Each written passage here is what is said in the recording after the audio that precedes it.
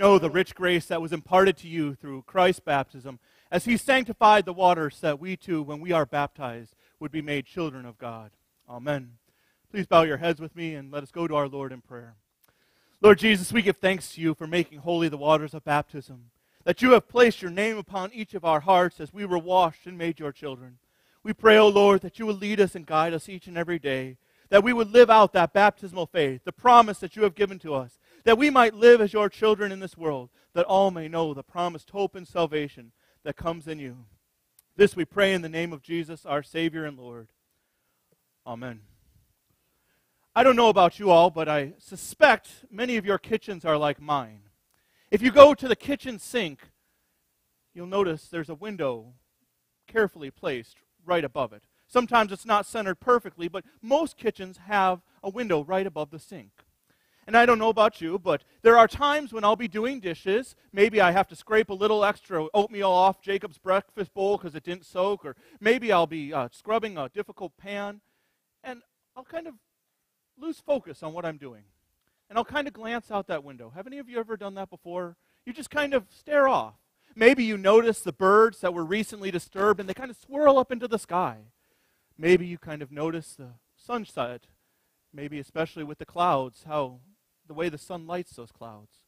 Maybe it's just you stare off and you notice God's creation all around you. Some of you, I imagine, though, have done what I have.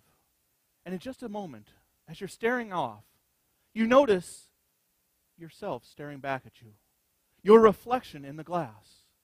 You notice for just a minute your reflection staring back at you as if plastered to those birds swirling up into the sky or painted on the sunset. Your own face there as well. Have any of you ever felt that before?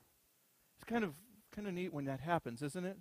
Because for a minute you can forget that you're doing your chores, cleaning your dishes, for a minute, you can forget that you have bills to pay, you have other things that you have to do around the house. For a minute, maybe like those birds, you can feel a bit of freedom thinking about those birds who are not bound to a house, not bound to one place, but are free. Small reflection, just a little glance. You know, today, that's what we're going to do is take a small reflection into God's Word. You know, we go we get into Romans 6 today, that is a text that is used for the baptism of Christ, that's used for many baptisms. And as we look at it, we enter into the story in the middle. Have you ever noticed that it's uh, our pericopes, they don't always go one chapter to the next, but we get right into the middle of the story. It's almost like the way that we live our lives. As we reflect back on this Roman text in Romans, we know that we are not the first ones here. That although we're part of God's story, that we've come later in time. That God's story began before there was time. That God's go- story will stretch beyond time. And here we are, smack dab in the middle, just like Romans chapter 6 is. Romans 6, though, talks about our beginning as the children of God. It talks about baptism. And Paul paints this amazing picture of baptism. He paints this picture of baptism that draws us to something greater than ourselves, that draws us beyond the mundane of our lives, and draws us to something beautiful. He takes us away from those things that hold us back and reminds us that we are part of a greater story, a hope. And so, no matter where you came from this morning, no matter if you had a busy week last week or if you have a lonely week ahead of you where you don't know exactly what you're going to do, Paul invites us to peer back with him, to reflect on what baptism means to us, what it means to be called a child of God. And Paul, he uses these beautiful words to describe baptism. And I take you back to Romans 6, and I encourage you to read with me. I'm going to start at verse 3 here. Or don't you know that all of us who were baptized into Christ Jesus were baptized into his death? We were therefore buried with him through baptism into death, in order that just as Christ was raised from the dead through the glory of the Father, we too might have new life. Baptism is the promise of new life. Baptism is the promised hope that we have that there is something greater than this life. And let's go back to the context for just a minute here. The people to whom Paul was first writing. He's writing to that Roman church, wasn't he?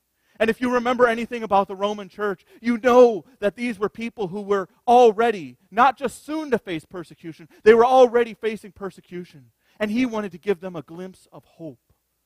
He wanted to give them a glimpse of what is to come. And so he reminded them that what is on this earth is not all that there is, but there is something greater. There is a greater hope that is ahead of each one of us. He wrote to this church who he never even met. Do you remember that? That Paul, he wrote to the Romans, and he was a missionary letter because he'd not had opportunity to get to them yet. So he wrote from the church in Corinth to encourage them because he had heard about the way God was working. He had already heard about what God was doing, and he wanted to give them further encouragement, further strengthening. Remind them that all the things that are falling apart in their lives, that there was still hope. There was still a bright light of Christ shining through because they were baptized children of God.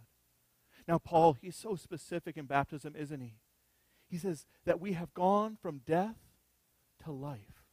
We have gone, we were, we were dead in our sins and our trespasses, but we have been brought to life. Now, for us as Lutherans, we're not always familiar with Romans 6 as well as we are with Romans 7, are we? It seems like we know, the, we know the, that baptismal text when we have a baptism in church, but then most of us, we fast forward to Romans 7, and we can't help but think about Paul's words in Romans 7 where he says, the struggle against the flesh, the, the, the good I wish to do, I do not do, the evil I do not wish to do, I do. I thought most of you all knew this one, but because it seems like for many of us, that's our theme verse.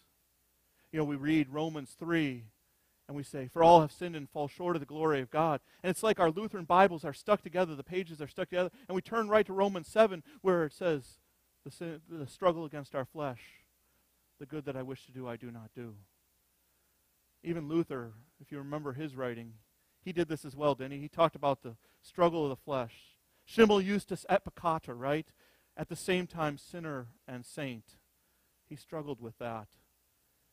But Paul, he gives us a better way to look at life. We were dead in our trespasses, but we have been made alive in Christ. Dead in our sins, but now alive in Christ. The old has been put behind us. The old is no longer hanging over our head before us. But in our baptism, we drown the old self. We put to death that sinfulness and have been made alive by Christ. But sometimes that's hard for us, isn't it? In fact, as people who live in our world today, this is a particular struggle because the world actually tells us the opposite. It says that you need to hold on to your sin so that it keeps you from repeating it. We know that the world, uh, they may not know what sin is, but they certainly know what evil is. If you were to ask anybody about a DUI that kills a child, they would call that evil, wouldn't they? if they were to talk about a massacre in Iraq or Afghanistan, they would call that evil. It wouldn't matter if they'd ever been in church before. But the solution of the world, the solution of the world tells us that all you have to do is hold on to that. Remember that sin, keep it in your back pocket, because then you won't repeat it. Isn't that what the cliche is? Those who know history, or those who do not know history, are doomed to repeat history. And so the world gives us this idea that we have to hold on to that sin. That although we're, we're supposedly we drowned it in our baptism, we better hold on to it so we don't get into it again. And we fall into this trap. We do. How many of us in our own lives find ourselves going back over our sins that we've confessed to God? How many of us in our lives find ourselves going back over our lives thinking, I wish I would have done this, or I wish I wouldn't have done that? full of regret, full of that wonderment. Well, Paul he gives us another another answer. Paul says, put it behind us. Put that sin behind you.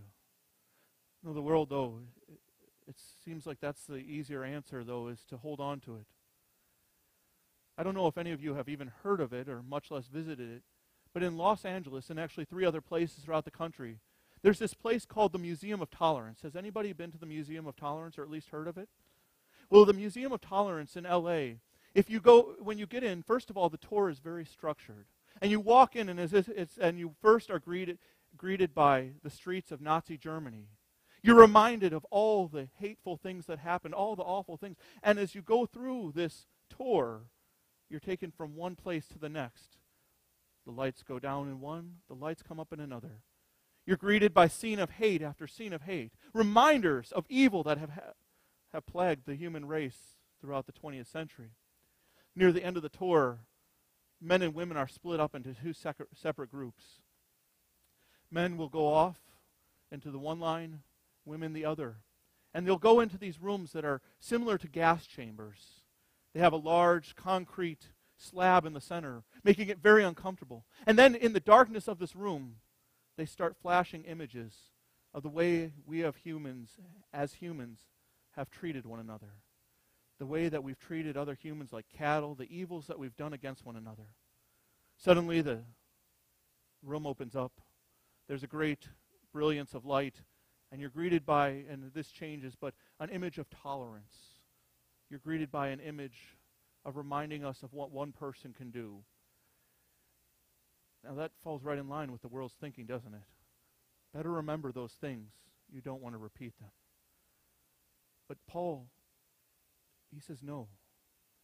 Put those things behind you. In your baptism, those things were washed away. In your baptism, God cleaned you and made you whiter than snow. It's as if Paul takes us down this dark, deep path. Because if you read the rest of Romans, you know he talks about the power and dominion of sin. He talks about its enslavement of us and the control it has. And in Paul, he takes you down this dark, deep path, not like the Museum of Tolerance, but rather much darker, where there's no lights.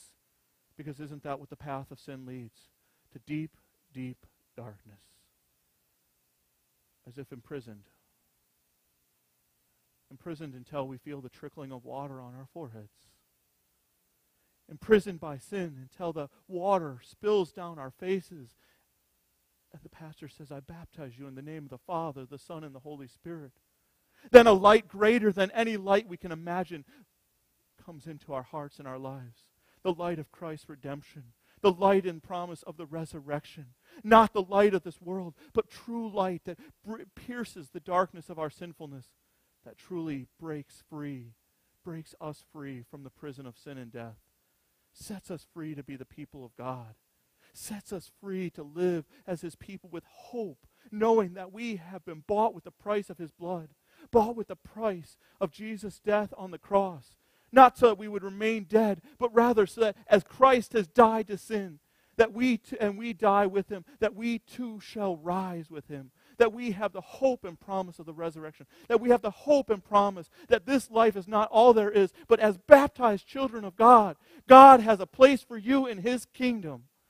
And that is the true hope that we have, that we reflect on when we look into the waters of Jesus' baptism in the Jordan. As most of you know, I did my seminary training at Concordia Seminary in St. Louis. And on the campus, there sits the chapel of St. Timothy and Titus. From a distance, it looks like it might be a little taller than all the rest of the buildings. That might just be perception. On the back wall, there are two beautiful stained glass windows, one of St. Timothy and one of St. Titus. But if you come forward just a little bit in the chancel area, you'll see the pulpit. And right behind the pulpit, much like ours, there's a crucifix. Now, I'll be honest, I never really cared for this crucifix. Not that I have a problem with crucifixes in general, but this one has a, it was clear glass. Transparent if you look at it, except for one spot. And if you remember in Exodus where it talks about Moses holding up the snake on the pole, it has Jesus in the shape of a snake, eh, almost in the writhing pain on the cross, with one red dot behind him. That cross, it's transparent. But now and again, much like we do, once in a while, They'll bring the cross down from behind the pulpit. They'll walk it to the back of the church. And, and when you walk into the chapel of St. Timothy and St. Titus, the baptismal font's right there as a reminder that we are baptized children of God. And that cross then is brought back to the baptismal font. It is connected to the baptismal font. And that cross, then, something beautiful happens as it's brought in the church, as it's brought in uh, the, by the procession. It, instead of being transparent, if you look, you can see you can see the world brought into the cross. If you look, you can see people singing and hearts lifted in anticipation as the cross goes by. And if you look close, you can see your own eyes staring back at you, reflected in that cross, reflected in that promise. And that's how it is being part of God's story. We're part of his cross, part of his death, but because we're baptized, we're part of the resurrection as well the promise that we too will die, but we will rise. And although we enter the story late, He's still going to has purpose and use for us in this world and in this life. That we are those who have been ra- made righteous, so that we can share His hope with all those in our world. For you were dead in your sins and trespasses, but you are alive in Christ. Amen. Please bow your heads with me. Lord Jesus, we thank you for your crucifixion and your death, for your promise that as you have died, that you did not remain in that tomb, but you have conquered death, and that you have declared victory, that you have risen from the grave. And we thank you that because you have died on the cross, that you have paid for our sins, that you have drowned them and put them to death, so that we are now made alive in you. We pray, O oh Lord, that you will lead us each day, that we would live lives, lives righteous in your name lives that reflect your love, lives that show hope to this world around us. We thank you for the promise that we are part of your greater story, that we are part of this life, that one day we'll be with you forever. May our lives truly reflect your love and the hope of our salvation. In the name of Jesus we pray. Amen.